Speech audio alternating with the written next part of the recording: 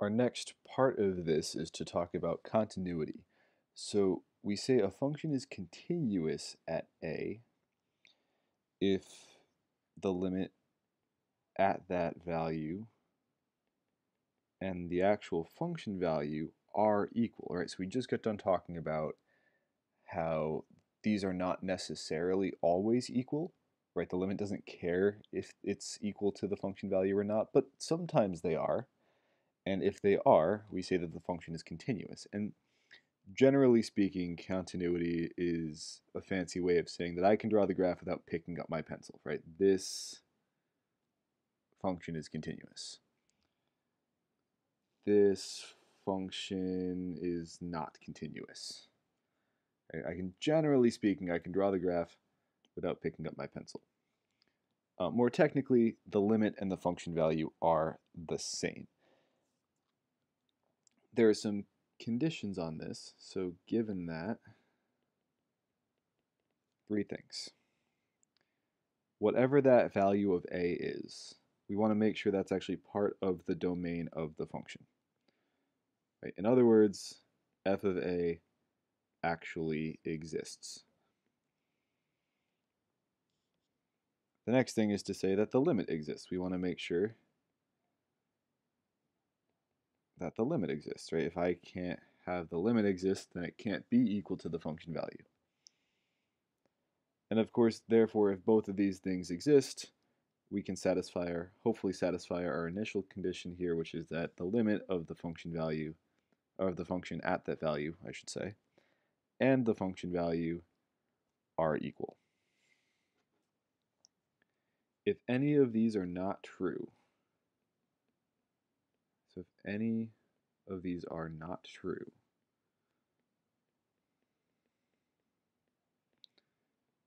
then we say that f of x is discontinuous, discontinuous at x equal to a. So that's kind of the basic idea let's take this a little bit further and just kind of clarify some things. So a whole bunch of different ways things can be uh, things can be continuous, being a little more specific, right? I can have continuity on an open interval, so that open interval is a b, and just as a heads up, we're used to seeing open intervals shown in parentheses, right? We know that this is equivalent to saying, uh, sorry, a less than x less than b? Well, IB, and I think it's just to make sure that parentheses don't turn into brackets. Right? If you draw them really quick, sometimes they can look similar. IB, we'll write them with flipped brackets. So we just want to be aware of that, right? I will usually use the standard notation with the parentheses, but if you come across something that looks like this, I just want to make sure you know what it looks like. Anyway, a function is continuous on an open interval a, b if it is continuous at every point in the interval. It's pretty self-explanatory, right? It's continuous on this range of numbers if it's continuous on that range of numbers. A function is just continuous if it's continuous at every x in the domain of f. So this is what we said up here, right? We need to make sure that whatever numbers we're dealing with are actually in the domain of f. We say that the function is continuous everywhere if it is continuous for all real numbers. And if it's not continuous, it is discontinuous. That's what I just said above. So let's consider something like 1 over x. Well, let's just get a quick sketch of the function. So something that looks vaguely like this. And then over here, right, I've got asymptotes on the axes. Great.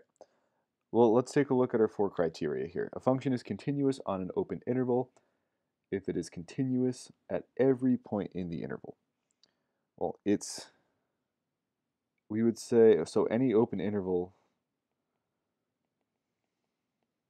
containing zero would not work, right?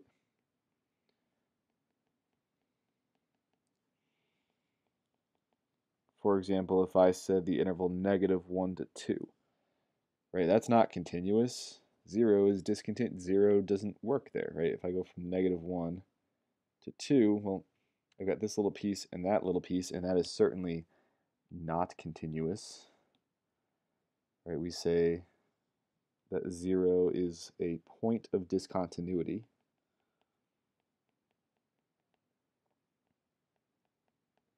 Discontinuity, point of, right.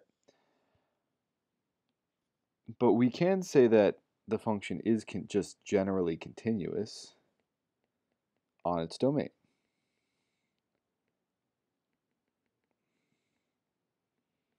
Right? If I look at its domain, which is all real numbers except for 0, and I intentionally leave out 0, then the function would be continuous. Right? I can I take it in two halves, negative infinity to 0 and 0 to positive infinity. And on both of those chunks, it is in fact continuous. Course, we cannot say that it's continuous everywhere because we're excluding 0. And we've already kind of talked about um, 0 being a point of discontinuity. So with continuity, sometimes we just want to talk a little bit about terminology. We just want to make sure we're using the right language and being as specific as possible. Let's look at this algebraically next. So here is my function and I want to determine the value of k,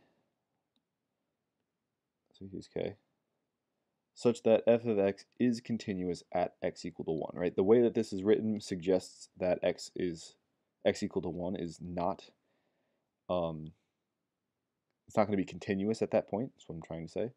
But we might be able to find a way to make it continuous.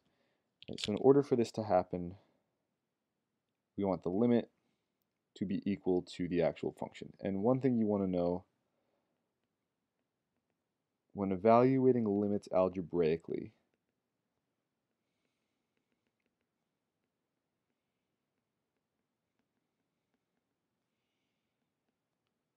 simplify it as much as you can first.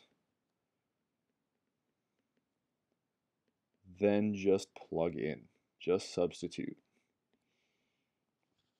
So I think we can try to do this first, right?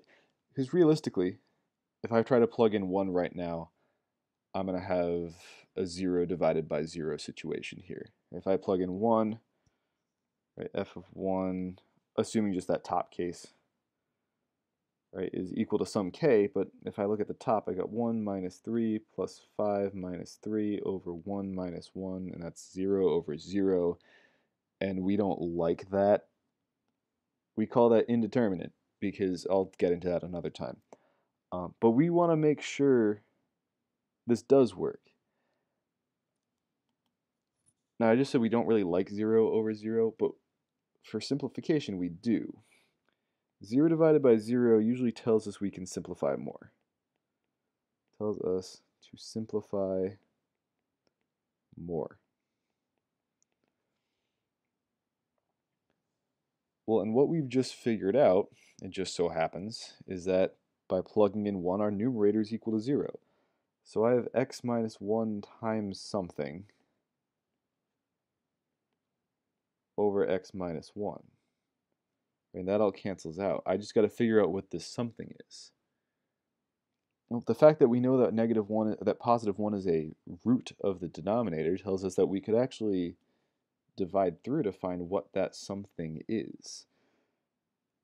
So let's see here. I want to divide through by 1.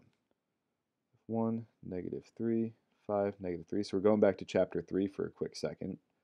I'm just doing some real quick synthetic division.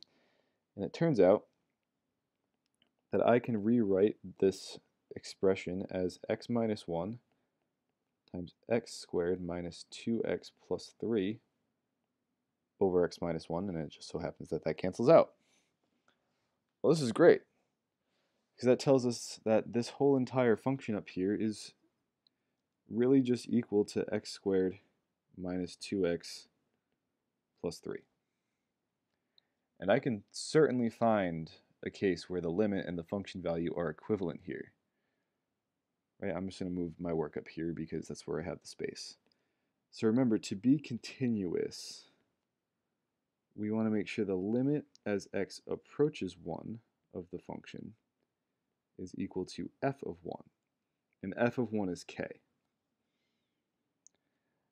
That's just how we've defined it down here, right? f of 1 is k. As I said, when you're evaluating limits algebraically, simplify first, we just did that, and then plug in.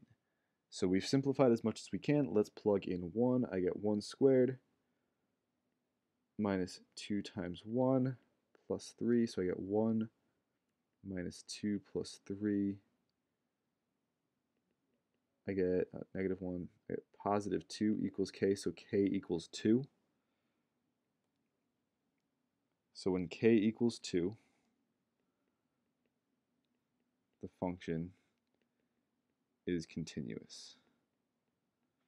What actually happens with this graph, because of the division, there would actually be a hole in the function. I don't know what this function looks like, but let's just imagine maybe it looks something like this. It's not going to, but just bear with me. At, whoops, at 1, because I can't plug in 1 to my original expression, there would be a hole there, and I would have some point that is k. All right, so the whole point of this problem is where do I need to move k to? Whoa. Where do I need to move k to to fill in the gap, to fill in the hole, to ensure that this function actually acts continuous? And that would be at k equal to 2.